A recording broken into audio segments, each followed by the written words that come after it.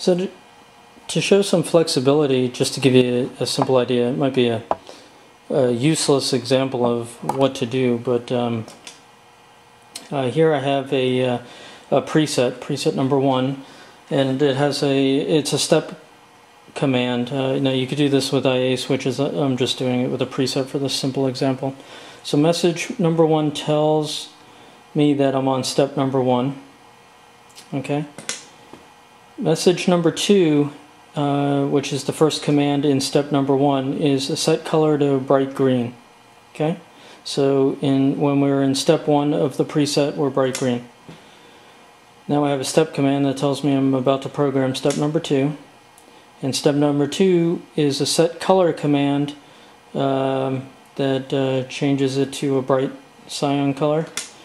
Then I have a third step command which is also a set color to white. I just did set color because it's visually easy for the, you to see what's going on. You could have any number of commands in a, a given step. I just have one simple set color command because that's something you can visually see.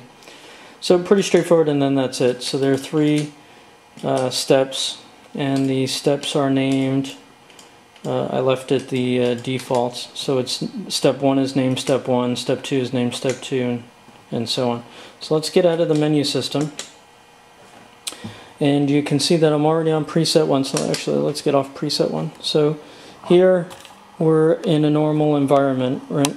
So I have preset number one. Right now preset number two is active and preset number three. Okay. And you can see the LCD shows that I'm on preset number two.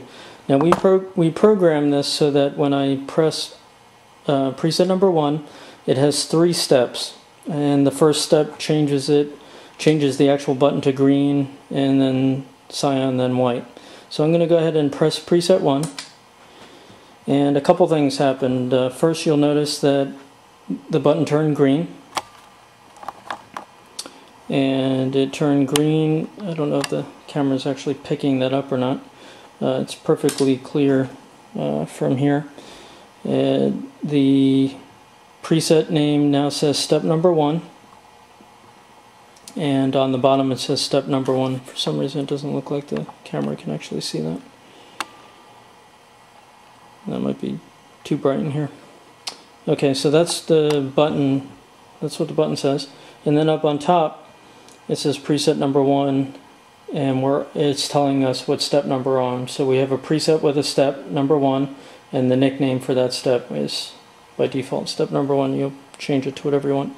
So if we go ahead and hit preset one again, it's going to jump to preset two. Now it changed it to a nice uh, uh, baby blue. Again, I'm not sure the cameras actually can pick that up.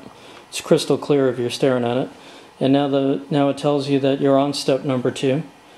And then up here it tells you that you're on preset number two. And then if we go ahead and hit it again, we had a third one that turned it white so now it's step number three, and up on the top it tells you you're on step number three. So there's a just visually a simple way to kind of get the idea of steps. You might have, control the dryness or wetness of your delay, uh, all sorts of uses. Um, uh, in combination, you might have a step that's triggering a different page uh, layout, uh, mode, you know, whatever the special command is. Uh, you might hit it once to save uh, a preset and then go to the last page that you were on prior